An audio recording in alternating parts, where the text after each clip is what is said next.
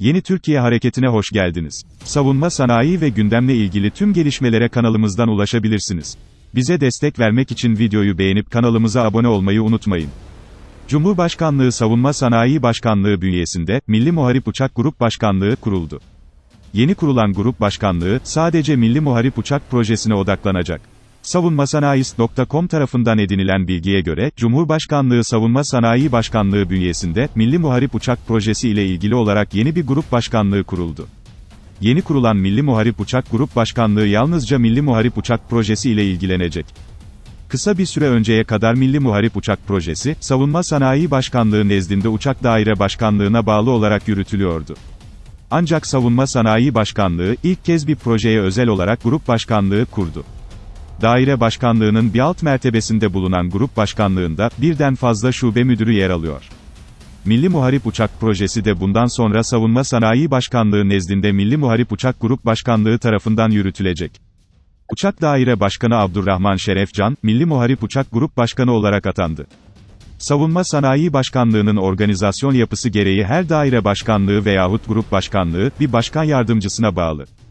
Milli Muharip Uçak Projesi daha önce Savunma Sanayi Başkanlığı Uçak Daire Başkanlığı'na bağlı bir şube müdürlüğü tarafından yürütülürken, artık direkt olarak bir Savunma Sanayi Başkanlığı Başkan Yardımcısına bağlı bir grup başkanlığı tarafından yürütülecek. Öte yandan, Milli Muharip Uçak Grup Başkanlığı ile Uçak Daire Başkanlığı aynı başkan yardımcısına yani Serdar Demirel'e bağlı.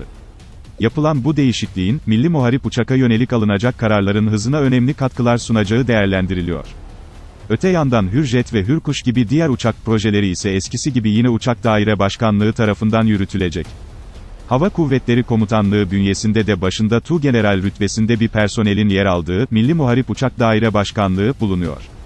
Mart 2023'te Hengar'dan çıkış yapması ve 2026 yılında ise ilk uçuşunu gerçekleştirmesi planlanan Milli Muharip Uçak'ın program takviminde, kısa süre önce bazı revizeler gerçekleştirildi.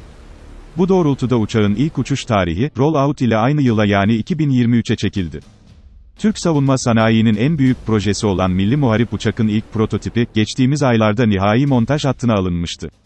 Uçak, Mart 2023'te Hengar'dan çıkış yapacak.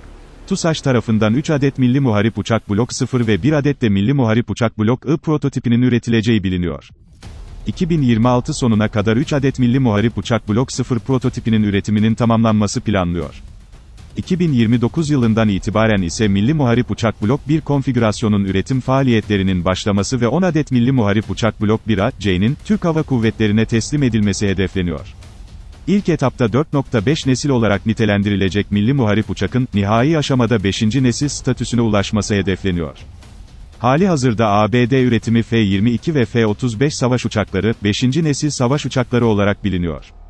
Rus yapımı Su-57 ve Çin yapımı J-20 platformları ise 5. nesil statüsüne ulaşmayı hedefleyen 4.5 nesil savaş uçakları olarak nitelendiriliyor.